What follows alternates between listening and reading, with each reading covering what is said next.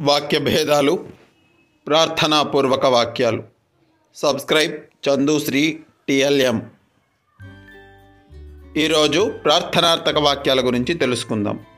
అభ్యర్థనలను ప్రార్థనలను తెలుపు క్రియలు కలిగి ఉన్న వాక్యాలను ప్రార్థనార్థక వాక్యాలు అని అంటారు.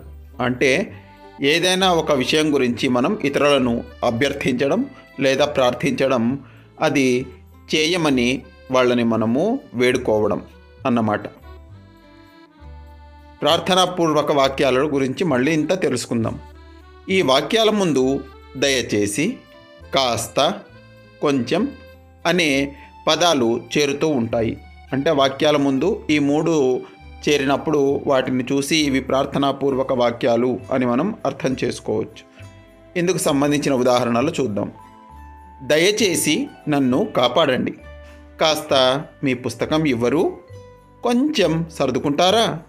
ఈ వాక్యాలలో దయచేసి కాస్త కొంచెం అనేవి వచ్చాయి. వీటిని ప్రార్థనార్థక వాక్యాలుగా మనం భావించవచ్చు. అలాగే మరికొన్ని ఉదాహరణలను ఇప్పుడు చూద్దాం. దయచేసి నాకు సీటు ఇస్తారా? నాకు కాస్త సహాయం చేయగలరా? కొంచెం మంచినీళ్ళు ఇప్పించగలరా? దయచేసి నన్ను లోపలికి వెళ్ళనివ్వండి. ఈ వాక్యాలలో దయచేసి కాస్త కొంచెం అనే పదాలు వచ్చాయి కదా. ఇవి ఒక పనిని మన కోసం చేయమని మనం ఇతరులను వేడుకోవడం అన్నమాట. ఇలా ప్రార్థనాపూర్వకంగా మనం ఇతరులను అడిగిన వాక్యాలనే ప్రార్థనార్థక వాక్యాలు అంటారు.